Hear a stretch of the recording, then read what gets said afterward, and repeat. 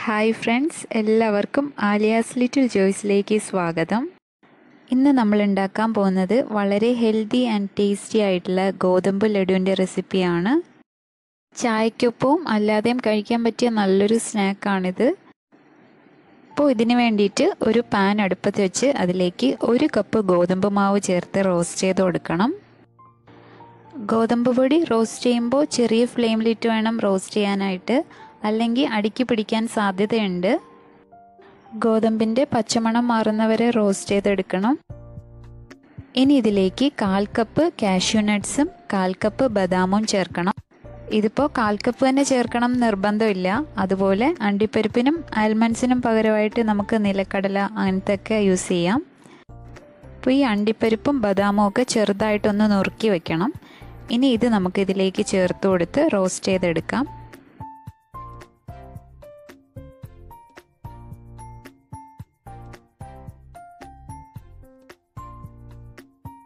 ഇനി നമ്മൾ ഇതിലേക്ക് ചേർക്കാൻ പോകുന്നത് അര കപ്പ് ചിരകിയ തേങ്ങയാണ്.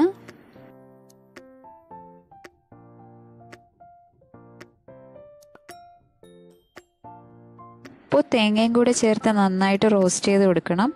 ഒരു മൂന്ന് മിനിറ്റ് ചെറിയ ഫ്ലെയിമിലിട്ട് വേണം റോസ്റ്റ് ചെയ്യാനായിട്ട്. ഇപ്പോൾ നന്നായിട്ട് റോസ്റ്റ് ആയിട്ടുണ്ട്. അണ്ടിപ്പരിപ്പിന്റെയും ബദാമിന്റെയും തേങ്ങയുടെയും ഗോതമ്പിന്റെയൊക്കെ നല്ലൊരു മണം വരുന്നുണ്ട്. ഈ സമയത്ത് നമുക്ക് നെയ്യ് ചേർത്ത് കൊടുക്കണം. ഞാനിവിടെ കാൽ കപ്പ് നെയ്യാണ് ചേർക്കുന്നത്.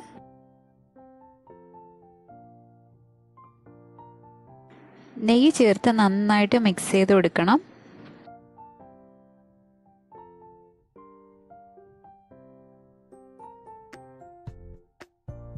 ഇനി നമ്മൾ ചേർക്കാൻ പോകുന്നത് അരക്കപ്പ് ശർക്കര പൊടിച്ചതാണ്.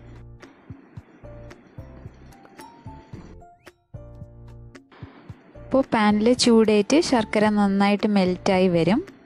ഇനി നമുക്ക് ആവശ്യമുണ്ടെങ്കിൽ മാത്രം രണ്ട് ടേബിൾ സ്പൂൺ വെള്ളം കൂടി ഒഴിച്ചു കൊടുക്കാം. വെള്ളം ഒത്തിരി ഒഴിക്കേണ്ട കാര്യമില്ല. രണ്ടോ മൂന്നോ ടേബിൾ സ്പൂൺ നമ്മൾ ആ പാകം നോക്കിയിട്ട് വേണം ചേർക്കാനായിട്ട്.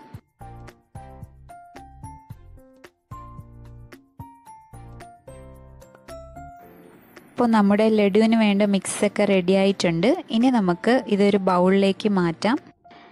ഇനി ബൗളിൽ മാറ്റിയതിന് ശേഷം ചെറു ചൂടോടെ തന്നെ നമുക്ക് ലഡുവിന്റെ ഷേപ്പിൽ ഉരുട്ടിയെടുക്കാം. ചൂടാറിക്കഴിഞ്ഞാൽ ഇത് പെട്ടെന്ന് കട്ടിയായി പോവും. അതുകൊണ്ട് ചെറു ചൂടോടെ തന്നെ ബൗൾസ് ആക്കാൻ ശ്രദ്ധിക്കുക.